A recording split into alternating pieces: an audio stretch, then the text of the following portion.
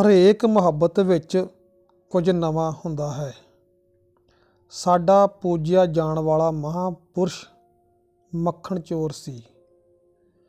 ਜੇ ਗੁੱਸੇ ਨਾਲ ਤੁਸੀਂ ਕਿਸੇ ਨੂੰ ਨਾਰਾਜ਼ ਕੀਤਾ ਹੈ, ਤਾਂ ਉਸ ਨੂੰ ਮਨਾਉਣ ਦੀ ਜ਼ਿੰਮੇਵਾਰੀ ਵੀ ਤੁਹਾਡੀ ਹੈ। ਝਗੜੋ, ਪਰ ਲੜੋ ਨਾ। ਝਗੜਾ ਜਲਦੀ ਭੁੱਲ ਜਾਂਦਾ ਹੈ। ਲੜਾਈ ਨੂੰ ਭੁੱਲਣ ਵਿੱਚ ਦੇਰ ਲੱਗਦੀ ਹੈ। ਕਮਜ਼ੋਰ ਬੱਚੇ ਵਿੱਚ ਪਹਿਲਵਾਨ ਬਣਦੀ ਮਧਰੇ ਲੜਕੇ ਵਿੱਚ ਉੱਚੇ ਵੱਡੇ ਕੰਮ ਕਰਨ ਦੀ ਲੰਗੜੇ ਵਿੱਚ ਦੌੜ ਜਿੱਤਣ ਦੀ ਮੰਗਤੇ ਵਿੱਚ ਅਮੀਰ ਹੋਣ ਦੀ ਕਾਲੀ ਲੜਕੀ ਵਿੱਚ ਗੋਰੀ ਹੋਣ ਦੀ ਸੰਭਾਵਨਾ ਇੱਛਾ ਹੁੰਦੀ ਹੈ। ਦਿਮਾਗ ਸਰੀਰ ਨੂੰ ਲੱਗੀ ਜੇਬ ਹੈ, ਜਿਸ ਵਿੱਚ ਅਸੀਂ ਸਾਰਾ ਜੀਵਨ ਤਰਕ ਪਾਉਂਦੇ, ਕੱਢਦੇ ਰਹਿੰਦੇ ਹਾਂ। ਜੇ ਕਿਸੇ ਦੀ ਕਹੀ ਗੱਲ ਬਾਰੇ ਉਸ ਵੇਲੇ ਬਹਿਸ ਕਰਨ ਲੱਗ ਪਾਓਗੇ ਤਾਂ ਮਗਰੋਂ ਪਛਤਾਓਗੇ।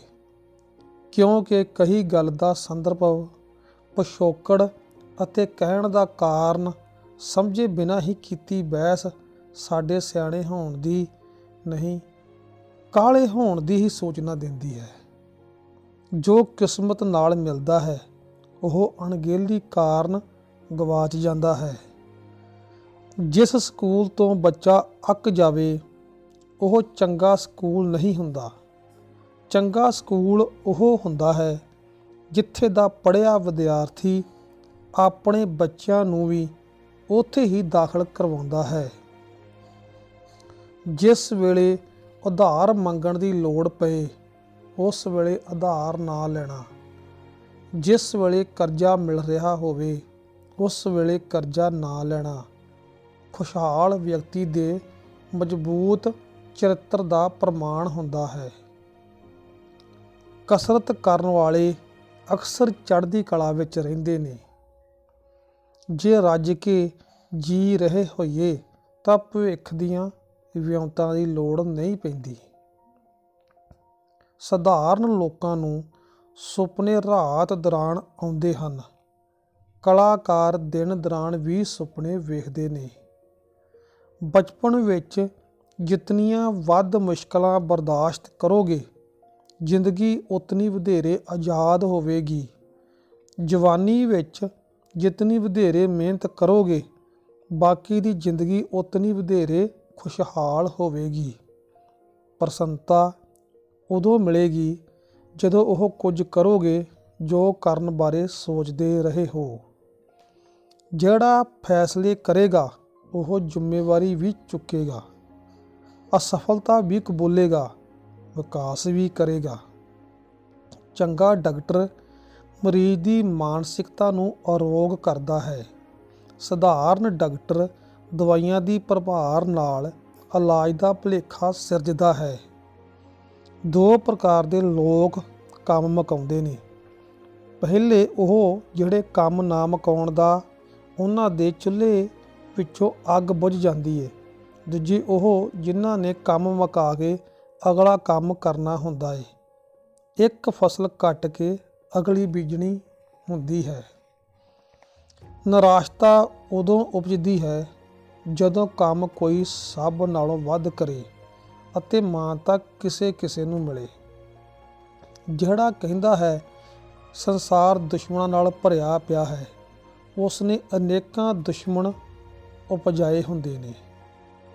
ਆਪ ਸਮਝੌਤੇ ਕਰਨੇ ਅਤੇ ਹੋਰਾਂ ਦੇ ਸਮਝੌਤੇ ਤੋੜਨੇ ਰਾਜਨੀਤਿਕ ਵਿਹਾਰ ਹੁੰਦਾ ਹੈ। ਚਲਾਕ ਲੋਕ ਬੜੇ ਵਫਾਦਾਰ ਹੁੰਦੇ ਨੇ। ਆਪਣਾ ਸਵਾਰਥ ਪੂਰਾ ਹੋਣ ਤੱਕ।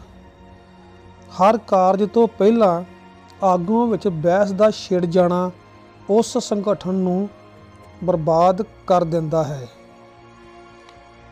ਪਹਿਲਾਂ ਕਿਸੇ ਦੀ ਦਿੱਖ ਪ੍ਰਭਾਵਿਤ ਕਰਦੀ ਹੈ, ਉਸ ਬਾਰੇ ਅਸੀਂ ਸੋਚਦੇ ਮਗਰੋਂ ਹਾਂ। ਖਾਣ ਪੀਣ ਨਾਲ ਗੱਲਾਂ ਕਰਨੀਆਂ ਅਤੇ ਮਸਲੇ ਵਿਚਾਰਨੇ ਸੌਖੇ ਹੋ ਜਾਂਦੇ ਨੇ। ਜਦੋਂ ਬੇਇੱਜ਼ਤੀ ਹੁੰਦੀ ਹੋਵੇ ਤਾਂ ਅਸੀਂ ਬੇਇੱਜ਼ਤੀ ਦੇ ਸਾਹ ਹੀ ਗਲਤ ਹੋਣ ਬਾਰੇ ਨਹੀਂ ਸੋਚਦੇ, ਬੇਇੱਜ਼ਤੀ ਕਰਨ ਬਾਰੇ ਬਾਰੇ ਜ਼ਿਆਦਾ ਸੋਚਦੇ ਹਾਂ। ਜੇ ਤੁਹਾਡੇ ਵਿੱਚ ਆਲੋਚਨਾ ਸਹਿਣ ਦੀ ਅਤੇ ਤੌਮਤਾ ਬਰਦਾਸ਼ਤ ਕਰਨ ਦੀ ਸ਼ਕਤੀ ਨਹੀਂ, ਤਾਂ ਤੁਸੀਂ ਕਿਸੇ ਵੱਡੀ ਜ਼ਿੰਮੇਵਾਰੀ ਦੇ ਯੋਗ ਨਹੀਂ ਸਮਝੇ ਜਾਓਗੇ। ਫਿਲਮੀ ਅਦਾਕਾਰਾਂ ਨੂੰ ਚਰਚਾ ਵਿੱਚ ਰਹਿਣ ਵਾਸਤੇ ਕਈ ਪਖੰਡ ਕਰਨੇ ਪੈਂਦੇ ਨੇ। ਚਲਾਕ ਲੋਕ, ਬੇਈਮਾਨ ਸਾਜ਼ਿਸ਼ੀ ਅਤੇ ਸਵਾਰਥੀ ਵੀ ਹੁੰਦੇ ਨੇ। ਇਹਨਾਂ ਨਾਲ ਸਿੱਧਿਆ ਨਹੀਂ ਲੜਿਆ ਜਾ ਸਕਦਾ। ਇਹ ਅਸਿੱਧੀ ਲੜਾਈ ਨਾਲ ਹੀ ਹਰਾਏ ਜਾਂਦੇ ਨੇ।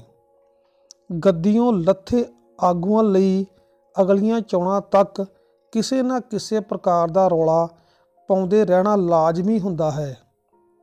ਗਵਾਂਢ ਭੁੱਖਾ ਹੋਵੇ ਤੁਸੀਂ ਸੌਂ ਨਹੀਂ ਸਕੋਗੇ। ਗਵਾਂਢ ਰੱਜਿਆ ਹੋਵੇ ਤੁਹਾਨੂੰ ਸੌਣ ਨਹੀਂ ਦੇਵੇਗਾ। ਇਸ ਕਰਕੇ ਦੋਵੇਂ ਰੱਜੇ ਹੋਣੇ ਚਾਹੀਦੇ ਨੇ। ਕਿਸੇ ਦੀ ਬੇਇੱਜ਼ਤੀ ਲਈ ਉਸ ਦੇ ਨਾਂ ਦਾ ਉਚਾਰਨ ਵਿਗਾੜ ਦਿੱਤਾ ਜਾਂਦਾ ਹੈ। ਗੁੱਸਾ ਚੜਨ ਸਮੇਂ ਚੁੱਪ ਰਹਿਣਾ ਬੜਾ ਮੁਸ਼ਕਲ ਹੁੰਦਾ ਹੈ, ਪਰ ਜੇ ਚੁੱਪ ਰਿਹਾ ਜਾਵੇ ਤਾਂ ਕੁਝ ਬੋਲੇ ਕੀਤੇ ਬਿਨਾ ਦੂਜੇ ਨੂੰ ਢਹਿ ਢੇਰੀ ਕੀਤਾ ਜਾਂਦਾ ਹੈ। ਵੱਡੀ ਸਫਲਤਾ ਵਾਸਤੇ ਨਿੱਕੇ ਨਿੱਕੇ ਪੜਾਅ ਪਾਰ ਕਰਨੇ ਪੈਂਦੇ ਨੇ। ਕੂਣੀਆਂ ਮਾਰ ਕੇ ਅੱਗੇ ਲੰਘਣ ਵਾਲਾ ਬੰਦਾ ਕੁਝ ਪ੍ਰਾਪਤ ਨਹੀਂ ਕਰਦਾ। ਹੋਰਾਂ ਤੋਂ ਖੋਹਦਾ ਹੈ। ਇਹ ਚੱਲਦਾ ਨਹੀਂ, ਹੋਰਾਂ ਨੂੰ ਠਿੱਬੀਆਂ ਮਾਰਦਾ ਹੈ। ਇਹ ਵਿਸ਼ਵਾਸ ਨਹੀਂ, ਸ਼ੰਕੇ ਉਪਜਦਾ ਹੈ। ਵਿਕਾਸ ਕਰਨ ਵਾਸਤੇ ਸੋਚਣ ਦੀ ਵੀ, ਕਾਰਜ ਕਰਨ ਦੀ ਵੀ ਅਤੇ ਆਪਣੇ ਆਪ ਨੂੰ ਬਦਲਣ ਦੀ ਵੀ ਲੋੜ ਹੁੰਦੀ ਹੈ। ਚੰਗੀ ਪੁਸਤਕ ਪਾਠਕ ਨੂੰ ਸਮੇਂ ਦਾ ਹਾਣੀ ਹੋਣ ਦਾ ਪ੍ਰਭਾਵ ਦਿੰਦੀ ਹੈ। ਕਈ ਵਾਰ ਕਿਸੇ ਬਹੁਤ ਬੋਲਣ ਵਾਲੇ ਤੋਂ ਖਹਿੜਾ ਛਡਾਉਣ ਲਈ ਉਸ ਨਾਲ ਸਹਿਮਤ ਹੋਣ ਦਾ ਵਿਖਾਵਾ ਕਰਨਾ ਜ਼ਰੂਰੀ ਹੋ ਜਾਂਦਾ ਹੈ। ਜਿਹੜੇ ਕੰਮ ਕਰਨੇ ਨਹੀਂ ਚਾਹੁੰਦੇ, ਉਹ ਪੂਜਾ ਪਾਠ ਕਰਦਿਆਂ ਕੰਮ ਕਰਦੇ ਪ੍ਰਤੀਤ ਹੋਣਾ ਚਾਹੁੰਦੇ ਨੇ। ਲਾਡਲੇ ਪੁੱਤਰ ਅਕਸਰ ਪਤਨੀ ਦਾ ਗੁਲਾਮ ਹੋ ਕੇ ਮਾਪਿਆਂ ਤੋਂ ਟੁੱਟ ਹੀ ਨਹੀਂ ਜਾਂਦਾ, ਮਾਪਿਆਂ ਤੋਂ ਤੁਹਮਤਾਂ ਵੀ ਲਵਾਉਂਦਾ ਹੈ। ਰਾਜਨੀਤੀ ਵਿੱਚ ਅਕਸਰ ਆਪ ਅੱਗੇ ਵਧਣ ਵਾਸਤੇ ਸਭ ਤੋਂ ਪਹਿਲਾਂ ਆਪਣੇ ਸਾਥੀਆਂ ਨੂੰ ਕਮਜ਼ੋਰ ਕੀਤਾ ਜਾਂਦਾ ਹੈ। ਜਿਤਨਾ ਕੋਈ ਵੱਧ ਜਾਣਦਾ ਹੋਵੇਗਾ, ਉਤਨਾ ਉਹ ਘੱਟ ਬੋਲੇਗਾ। ਬਦਨਾਮ ਹਾਕਮ ਜ਼ੁਲਮ ਕਰਨ ਲੱਗ ਪੈਂਦੇ ਨੇ, ਇਹ ਇਤਬਾਰ ਕਿਸੇ ਤੇ ਨਹੀਂ ਕਰਦੇ ਸ਼ੱਕ ਹਰ ਕਿਸੇ ਤੇ ਕਰਦੇ ਨੇ ਅਤੇ ਅਜਿਹੇ ਕਰਕੇ ਇਹ ਆਪਣਾ ਅੰਤ ਆਪ ਨੇੜੇ ਲੈ ਆਉਂਦੇ ਨੇ। ਅਨੁਸ਼ਾਸਨ ਲਾਗੂ ਕਰਨਾ ਬੜਾ ਮੁਸ਼ਕਲ ਹੈ। ਸਖਤੀ ਕਰੋਗੇ, ਵਿਰੋਧ ਹੋਵੇਗਾ। ਨਰਮੀ ਵਰਤੋਗੇ, ਹਰ ਕੋਈ ਸਾਲੇ ਜੀਜੇ ਵਾਂਗ ਨਜਾਇਜ਼ ਲਾਭ ਉਠਾਵੇਗਾ। ਨਸ਼ੇੜੀ ਜੂਏਬਾਜ਼ ਜਾਂ ਪਾਗਲ ਨੂੰ ਮਿੰਤਾਂ ਤੋਹਫਿਆਂ, ਰਿਸ਼ਵਤਾਂ, ਧਮਕੀਆਂ ਨਾਲ ਨਹੀਂ ਸੁਧਾਰਿਆ ਜਾ ਸਕਦਾ। ਘਰ ਭਾਵੇਂ ਖੋਲਾ ਹੀ ਹੋਵੇ, ਛੱਡਣਾ ਸੌਖਾ ਨਹੀਂ ਹੁੰਦਾ। ਕਮਜ਼ੋਰ ਟੀਮ ਵਿਰੁੱਧ ਮੈਚ ਜਿੱਤ ਕੇ ਵੀ ਲੱਗਦਾ ਕਿ ਜਿੱਤ ਤਾਂ ਹੋਈ ਨਹੀਂ। ਛੁਪੀ ਹੋਈ ਈਰਖਾ ਨਾਲੋਂ ਖੁੱਲੀ ਆਲੋਚਨਾ ਨੂੰ ਬਰਦਾਸ਼ਤ ਕਰਨਾ ਸੌਖਾ ਹੁੰਦਾ ਹੈ। ਬਹੁਤੇ ਲੋਕ ਪੈਸਿਆਂ ਬਾਝੋਂ ਨਹੀਂ ਅਰਾਦਿਆਂ ਬਾਝੋਂ ਗਰੀਬ ਹੁੰਦੇ ਨੇ। ਸੰਕਟ ਵਿੱਚ ਸਭ ਤੋਂ ਵੱਡੀ ਢਾਲ ਆਪਣੀ ਅਕਲ ਹੁੰਦੀ ਏ। ਰਾਜਨੀਤੀ ਵਿੱਚ ਲਟੇਰੇ ਅਕਸਰ ਸੇਵਾ ਦੀਆਂ ਗੱਲਾਂ ਕਰਦੇ ਨੇ। ਸਿਆਣਾ ਬੰਦਾ ਸ਼ਰਾਰਤੀ ਵੀ ਹੁੰਦਾ ਹੈ, ਸ਼ਰਾਰਤੀ ਬੰਦਾ ਤਿੱਖਾ ਵੀ ਹੁੰਦਾ ਹੈ, ਤਿੱਖਾ ਬੰਦਾ ਹਾਜ਼ਰ ਜਵਾਬ ਵੀ ਹੁੰਦਾ ਹੈ। ਹਾਜ਼ਰ ਜਵਾਬੀ ਸਿਆਣਪ ਅਤੇ ਤਿੱਖੇਪਣ ਤੋਂ ਬਿਨਾਂ ਸੰਭਵ ਨਹੀਂ ਹੁੰਦੀ।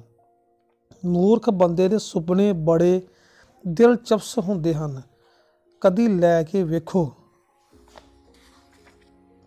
ਸਫਲਤਾ ਪ੍ਰਸੰਨਤਾ ਵਾਂਗ ਹੁੰਦੀ ਹੈ। ਇਸ ਦਾ ਪਿੱਛਾ ਨਹੀਂ ਕੀਤਾ ਜਾ ਸਕਦਾ। ਪੁਰਸ਼ਾਂ ਨੂੰ ਜਿੱਤਣਾ, ਨੇੜਿਓਂ ਅਤੇ ਜਿਤਨੀ ਗਹਿਰਾਈ ਵਿੱਚ ਵੇਸਵਾ ਜਾਣਦੀਆਂ ਨੇ।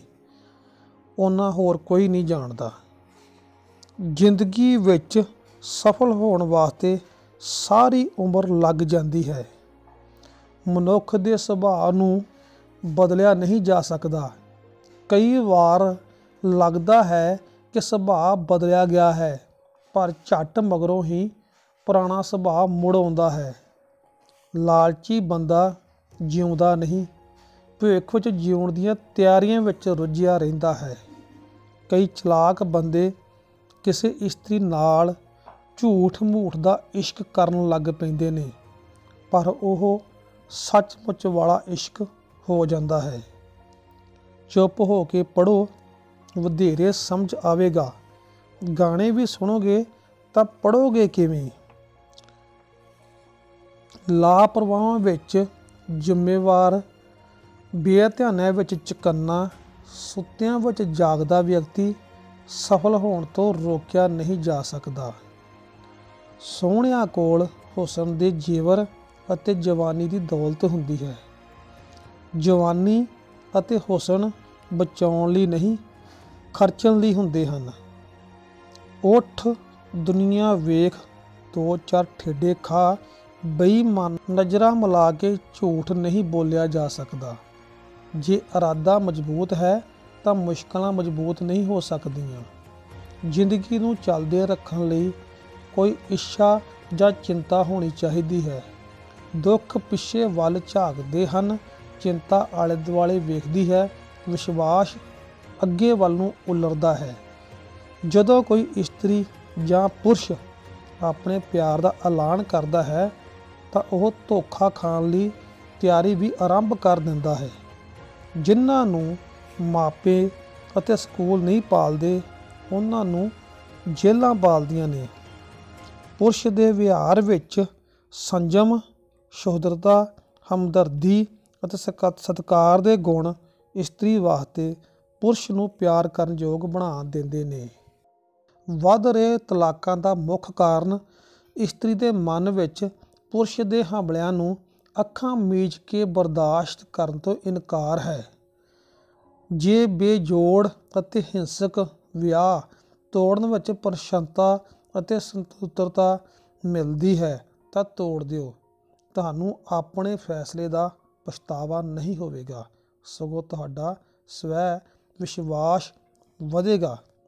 ਇਸਲਾਮ ਵਿੱਚ ਕਿਸੇ ਵੀ ਉਮਰ ਵਿੱਚ ਕਾਮ ਤਿਆਗਣ ਦੀ ਰੀਤ ਨਹੀਂ ਹੈ। ਜੇ ਕਿਸੇ ਲੜਕੇ, ਲੜਕੀ ਨੂੰ ਇੱਕ ਦੂਜੇ ਨਾਲ ਪਿਆਰ ਹੋ ਜਾਵੇ, ਤਾਂ ਉਹਨਾਂ ਨੂੰ ਕਿਸੇ ਤਰਕ ਨਾਲ ਰੋਕਿਆ ਨਹੀਂ ਜਾ ਸਕਦਾ।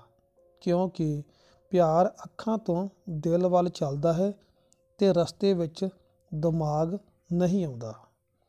ਗਲਤ ਅਤੇ ਨਜਾਇਜ਼ ਰਿਸ਼ਤੇ ਲੱਗਦੇ ਪੱਕੇ ਨੇ, ਪਰ ਪੱਕੇ ਇਹ ਨੁਕਸਾਨ ਕਰਨ ਅਤੇ ਬਦਨਾਮ ਕਰਨ ਵਿੱਚ ਹੁੰਦੇ ਨੇ। ਫੜਾ ਮਾਰਨ ਵਾਲੇ ਦਿਲਚਸਪ ਹੁੰਦੇ ਨੇ। ਇਹ ਹਵਾਈ ਕਿੱਲੇ ਬੜੇ ਉਸਾਰਦੇ ਨੇ, ਪਰ ਇਹ ਭਰੋਸੇਮੰਦ ਨਹੀਂ ਹੁੰਦੇ। ਇਹਨਾਂ ਨੂੰ ਕੋਈ ਜ਼ਿੰਮੇਵਾਰੀ ਨਾ ਦਿਓ। ਇਹਨਾਂ ਦੀਆਂ ਫੜਾਂ ਨੂੰ ਮਨੋਰੰਜਨ ਹੀ ਸਮਝੋ। ਮੂਰਖ ਨਾਲ ਬਹਿਸ ਕਰੋ, ਲੋਕ ਉਸ ਨੂੰ ਨਹੀਂ ਤੁਹਾਨੂੰ ਮੂਰਖ ਕਹਿਣਗੇ। ਇੱਤਰ ਫਲੇਲ ਦੀ ਸ਼ੀਸ਼ੀ ਖੁੱਲੀ ਰਹੇ ਤੇ ਇਸ ਨਾਲ ਸੰਗਤੀ ਫੈਲਦੀ ਨਹੀਂ, ਗਵਾਚਦੀ ਹੈ। ਇਕੱਠੇ ਰਹਿਣਾ ਚਾਹੁੰਦੇ ਹੋ ਤੇਲ ਅਤੇ ਪਾਣੀ ਵਾਂਗ ਜਾਂ ਦੁੱਧ ਅਤੇ ਖੰਡ ਵਾਂਗ? ਬਾਹਰੀ ਹਮਲਿਆਂ ਸਮੇਂ ਭਾਰਤੀ ਜਗ ਕਰਦੇ ਰਹੇ ਅਤੇ ਹਾਰਦੇ ਰਹੇ। ਹਾਰਨ ਉਪਰੰਤ ਇਹ ਕੇਵਲ ਜਗ ਕਰਨ ਯੋਗੇ ਹੀ ਰਹਿ ਗਏ। ਧਾਰਮਿਕ ਸਥਾਨ ਵਿੱਚ ਸ਼ਰਧਾਲੂਆਂ ਲਈ ਸ਼ਰਧਾ ਅਤੇ ਪ੍ਰਬੰਧਕਾਂ ਲਈ ਚੜਾਵਾ ਮਹੱਤਵਪੂਰਨ ਹੁੰਦਾ ਹੈ। ਉਦਾਸ, ਪਰੇਸ਼ਾਨ ਵਿਅਕਤੀ ਨੂੰ ਸੁਣੋ ਉਸ ਦੀ ਅੱਧੀ ਉਦਾਸੀ ਅਤੇ ਪਰੇਸ਼ਾਨੀ ਮੁੱਕ ਜਾਵੇਗੀ ਤੇ ਬਾਕੀ ਅੱਧੀ ਉਹ ਆਪ ਮੁਕਾ ਲਵੇਗਾ। ਜਦੋਂ ਕੋਈ ਬੁੜ ਬੁੜ ਕਰਨ ਲੱਗ ਪਵੇ, ਰੋਕੋ ਨਾ, ਨਹੀਂ ਰੁਕੇਗਾ। ਉਹ ਉਦੋਂ ਹੀ ਰੁਕੇਗਾ ਜਦੋਂ ਉਸ ਦੀ ਬੁੜ ਉਸ ਦੀ ਸਮੱਸਿਆ ਬਣ ਜਾਵੇਗੀ। ਕੁਝ ਮਹਿਮਾਨ ਬਿਨਾਂ ਦੱਸੇ ਆ ਜਾਂਦੇ ਨੇ। ਕੁਝ ਨੂੰ ਚਾਅ ਨਾਲ ਬੁਲਾਇਆ ਜਾਂਦਾ ਹੈ। ਬੁਲਾਏ ਜਾਣ ਯੋਗ ਮਹਿਮਾਨ ਬਣੋ।